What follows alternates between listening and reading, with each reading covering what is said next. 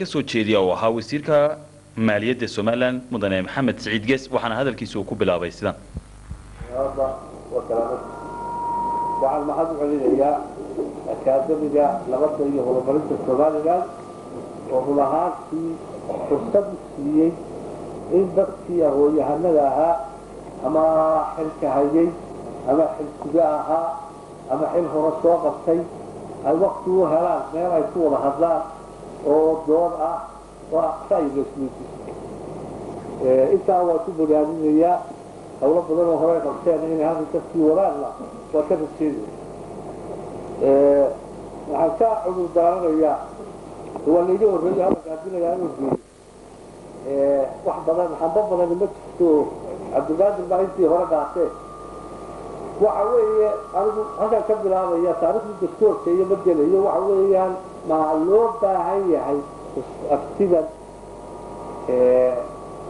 loo qaadayo dastoorka anigu waxaan qabaa waa loo baahan yahay. Sababta loogu baahan yahay waxa weeyaan qarannimada somalilan ayuu ka yahay qayb iyo goollaystaad dastoorku waad aragtaan calankii somalilan buu sitaa magaca waa somalilan waddan kale looma samayn waxaa loo sameeyey jamhuuriyadda somalilan jamhuuriyad soomaaliyeed looma samayn markaa waa ay dadka sidii tilmaantii weeyaan somalilan ayuu xambaarsan yahay wuxuu xambaarsan yahay khariidadii somalilan buu cayimayaa halka jugraafiga adduunya kee taallo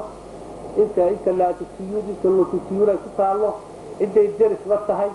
si uu uga cayimo uga saaro waddanada kale. Ama waddankii aynu ka doonnay uunoo ka saaro. Ayuu qodobadiis ay tilmaamayaan. Tilmaamtaasi mar hadday caynkaa tahay dastuurkii wuxuu ka mid yahay qarnimada somalilan